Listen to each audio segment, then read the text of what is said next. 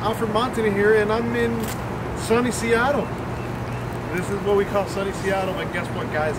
I am here at the Boats Afloat Boat Show, and there's another section at CenturyLink Field that there's also a boat show. So it's the same boat show. There's two parts. They got, you know, transportation within both. But I wanted to come out here so I can show you guys some of the boats that I thought you guys might enjoy with my, with my channel. So stay tuned if you want to see some of these really cool boats here at the Boats Afloat in Seattle. I'm freezing like you wouldn't imagine. I mean, what guy from Miami comes in shorts to, uh, I don't know, it's been a long day, guys. But listen, a lot of cool stuff, so stay tuned if you want to see some amazing boats. Let's do this. All right, guys. The treat of all treats, guys. I'm telling you guys, I got the cult leader here. No, no. So, look, um, on my YouTube channel, you know, I focus on rib boats. That's my passion. But I'm doing videos of all types of boats. And some of you guys that watch my channel, you know, are relentless and say, you gotta go see this brand called Stabicraft, Stabicraft, Stabicraft. Hey man, I'm tired of it. That's it. I'll, i came over here just to Seattle. I was like, where's this Stabicraft thing? Where are they? I want to do a video. Maybe I can just stop the comments. And I am fortunate enough to be here with the founder and CEO Paul Adams, and uh, I have not talked to him. And one of the things on my channel, I like to find out how someone got from this point to this point, because for anybody that's building anything, I think where you get the best part of the journey is everything in the middle, not to when you get something amazing like that. so, Paul, I wanted to um, first of all, thank you for being here, um, allowing me to ask you this, and uh, I will be bowing soon, people. so, so tell me, tell me how how did this how did this product originate? Where what happened? Hey, you know, well, it's 32 years and, okay. a, and a few grey hairs. Maybe a little so, bit more than a few. so, uh, so I was 27 years old uh, I was working for an engineering company in our local home port, and um, we serviced a number of uh, fishing boats, and we had a lot of fishermen come and visit us in our in our smoker room. You know, where you have a cup of cup of tea or a cup in of coffee. New Zealand, right? In New Zealand, okay. yeah. yeah we got to tell that. South end of New Zealand. And uh, these couple of guys, uh, mates of ours, uh, fishermen, were um, abalone, paua in, in New Zealand terms, and kina fishermen. Okay. And they had some quota to catch, annual quota to catch, and they, they, they caught paua and, and kina sea urchins. And they'd come into our smoker room and talk about, ah, we had to fix that bloody inflatable again. You know, it was always going down on us. We're sick of this and all that. And so they ended up, they came up with this idea. It's like, why don't you roll up some aluminum tubes? I'd say aluminium in New Zealand, but you know, I know you guys aluminum tubes. Comment, so. comment below, guys. Tell them how to talk in, in American terms. God damn! Stop um, playing around, yeah. Paul. I gotta, gotta comment. Those diehards are gonna. Okay. So yeah, so some aluminium tubes. Uh, basically weld them together like a rigid hull inflatable, mm-hmm. but to have all the properties or, or the ability to actually uh, have that boat stay um, stay up, not have to maintain it, and have longevity and such like. So that's where the idea originated from. We kind of, wow, well, that's kind of like a crazy idea. It's like, no, no, no, it's a really good idea. Um, we didn't build the very first one. They went round to another engineering shop because we said, ah, you know. Mm-hmm. They went round to this other engineering shop, got it made, brought it back round to us, and said, hey, look at this. Mm, everybody got excited. Well, actually, it was really funny because we said, oh man, look at that welding, it's really bad, and the joins were really bad. It was like, and they said, well, hey, you know, we told you you should have you should have built it, you know, and you know, one of our fishing buddies down the road, old Pig Hawkless, uh, Pig wants one. Why don't you build him one? Okay. So kind of that that put us up the, for the challenge. The challenge. Like, yeah, we can do a bit of those yeah. guys.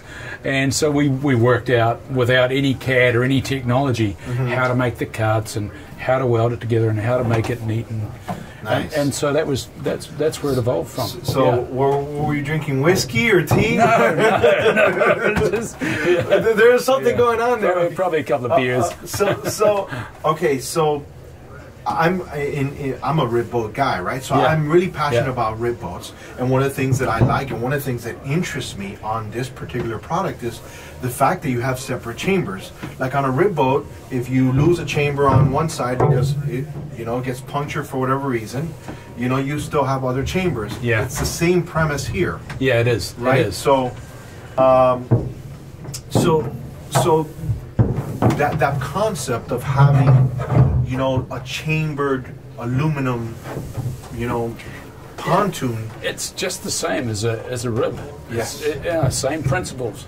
And one of the things that we really found, you know, like is is the the design of the rib is really good. You know, the performance and the ride and such like. Even though there's a lot of things to do with the hull and hull shapes and such like, but we've got all those properties built in. We've got the longevity. We decided that originally we started with a round tube. Um, that was because ribs were round, right? Yeah, And then we said, well, hang on, why does it need to be round? yeah, It's uh, it's aluminium. We can make it any shape we want. So then we made a, a D inside. So we in, increased the internal beam on the on the little rib, and then then it was like, well, why does it have to be even that shape? So we started playing with shapes and working out how the chines worked and making sure that you know the hull performed uh, to its best.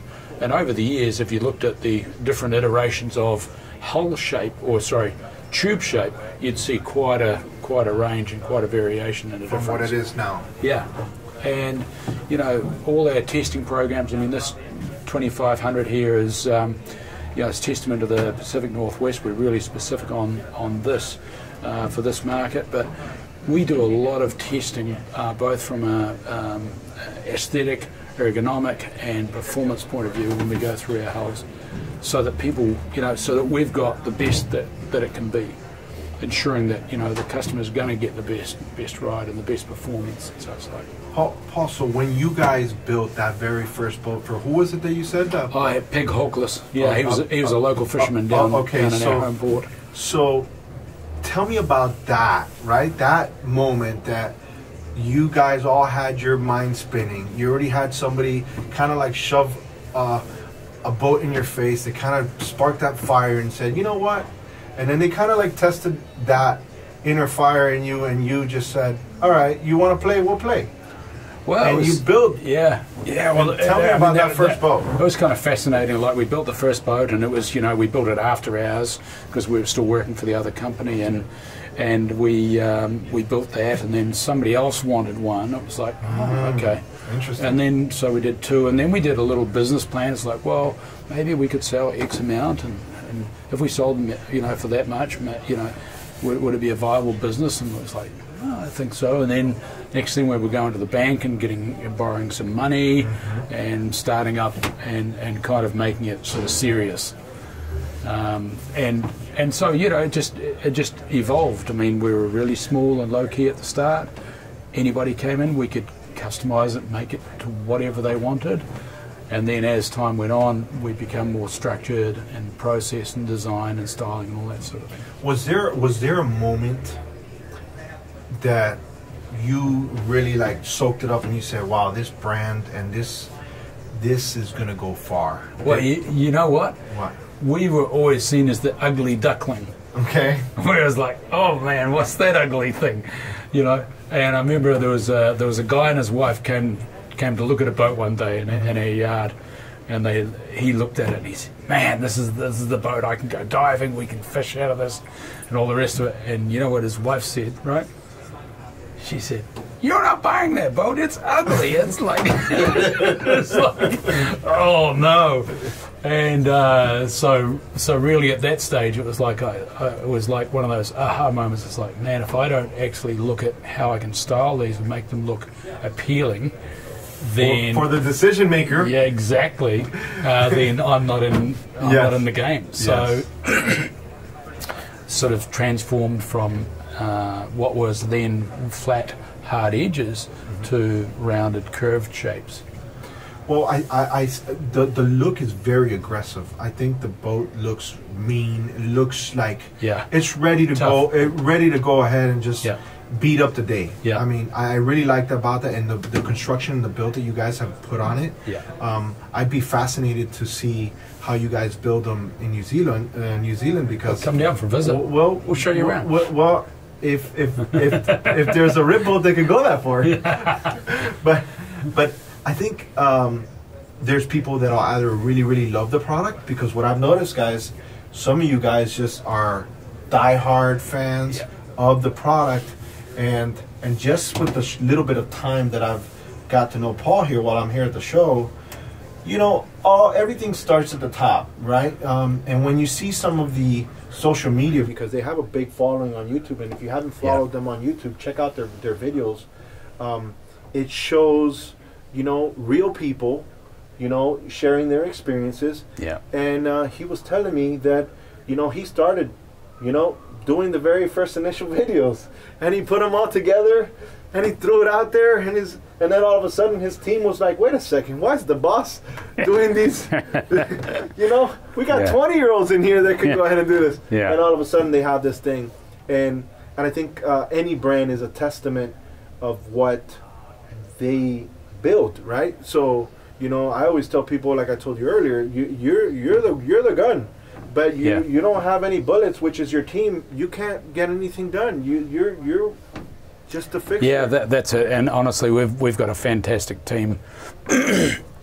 we've, um, you know, we've grown the business from from where it was 32 years ago to, you know, we currently have 130 staff and, and growing. You know, we've got we've got more to do this year. Um, there's lots of opportunity, and we've got great process and structure in, in within the business now. Uh, it's really exciting. It's really it's great to kind of step back and go, yeah, this is this is the way I wanted it to be. I wanted it to be. I wanted to um, to have a business that was a manufacturing business, not a boat building business. Nice, And Stabicraft is a boat manufacturer, true and true. nice. And um, yeah, that's pretty cool in itself.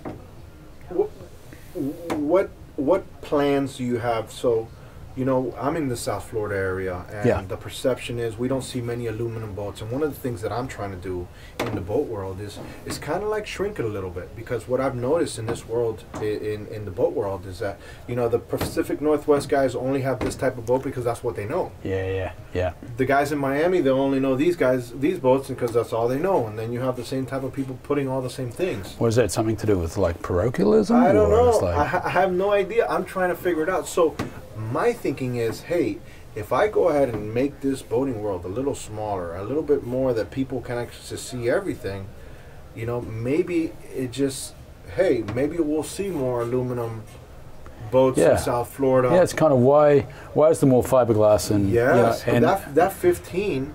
yeah, Um, I would love to see that boat in the sandbar in Haulover, Oh. which is, guys, uh, I did walkthroughs, and we'll, we'll link. I'm gonna link those videos. I did a walkthrough with Tyler from Boat Country, which is one of your dealers down yes, yeah. here. Um, and they, they they have opened up a dealer network, and it's it's just, is it just currently in the Pacific Northwest? Yeah, Okay. yeah, yeah. So we're we're um, uh, Coos Bay, Oregon. Okay. We're Portland, Oregon. We're Everett, Washington. We're Soldotna, Alaska. Um, yeah, at, at this stage and Well- and growing. Well, and, and here's the thing, right? So there's an influx of many aluminum style boats here in Seattle because this is like the place where you have a great workforce and, and you guys build yours in New Zealand. Um, can you envision a point that maybe you can go ahead and have some Stabicraft built in America? Yes. Wow, that's big, guys. Yep. That is big. Yep. There's definitely an opportunity for us to do it. You know, like you know, you think about um, uh, shipping these boats. I mean, this boat here, you have to, you know, there's a bit of work to do to put it in a container, and then a bit of work to do at this end to actually bring it out and put it together. Um, I think we could eliminate a lot of those things if we actually had a, uh, a base of some description here in the in the Pacific Northwest. So we're looking at that. Yeah, we're looking at that opportunity. Well, well guys, look, um, I'm very um, pleased to be able to, to, to talk to Paul. it's I don't want to take up a a, lot of his time. Um, it's incredible. If you haven't seen some of the walkthrough videos or some of the content on their channel, I would encourage you to t- take out uh, take a look at their web uh, website or their YouTube channel. And there's also the Staby fan page, uh, which is really, really, you know, you think about the cult. There's- Yeah, yes, Yeah, like, honestly. Guys, don't send me more comments. I, I went straight to the top.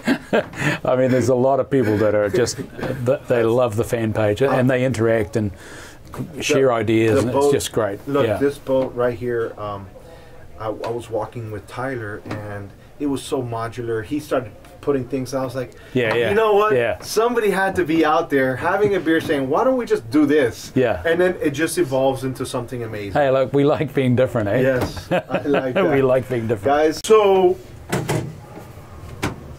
we, Paul, what happened? Yeah, what happened? Have we run out of SD card? Paul, what happened? Uh, So we had the interview of all interviews, but I guess my SD card um, was full. But but here's a good thing that I just realized: I have everything on an external audio, yeah, true. so everything that we actually talked in the interview, we still have.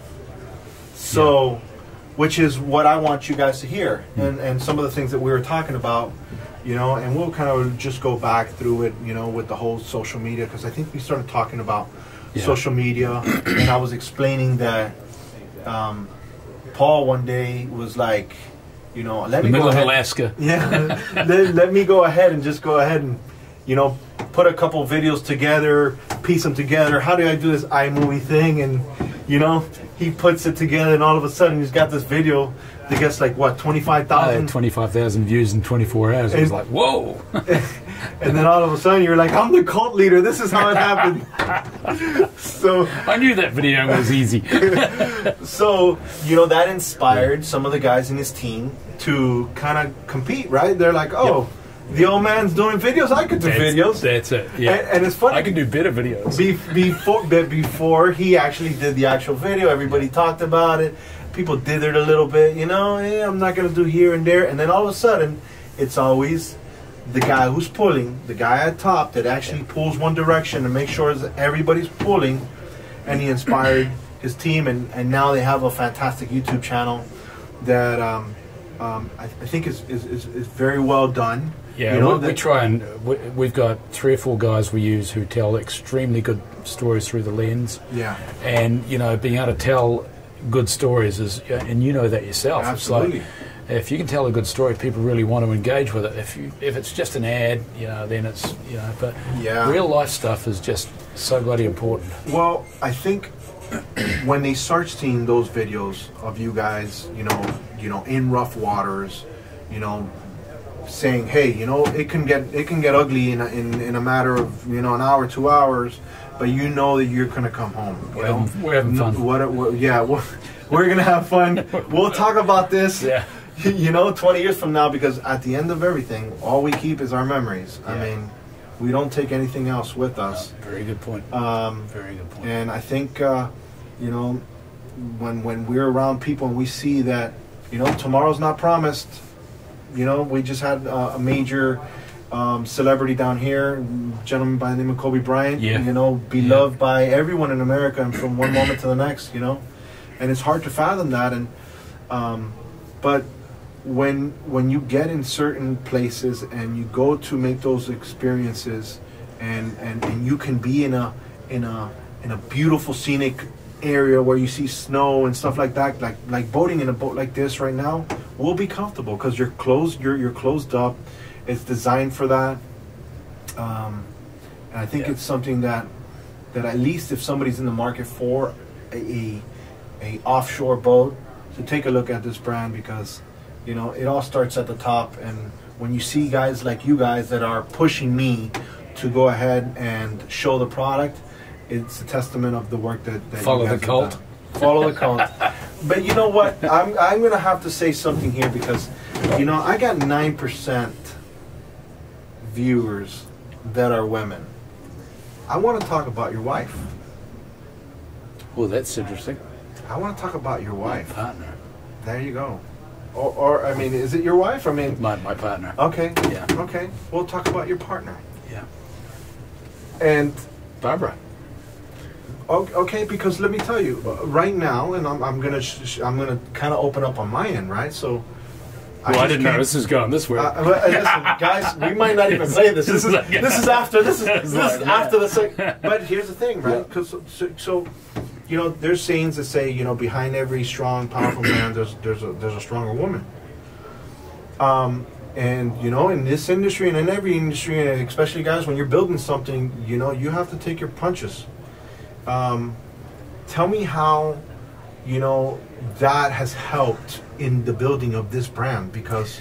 Well, you know, when I first met Barbara, there was some, there was an, an immediate attraction. Okay. But there's some really cool things about Barbara that I liked, and one of them was she'd caught a marlin, and Nice. she, and she'd released it. Oh, nice. She could back a trailer, and yeah, I don't know, Check- you- checking- yeah, checking the boxes. and and uh, and she loved fishing.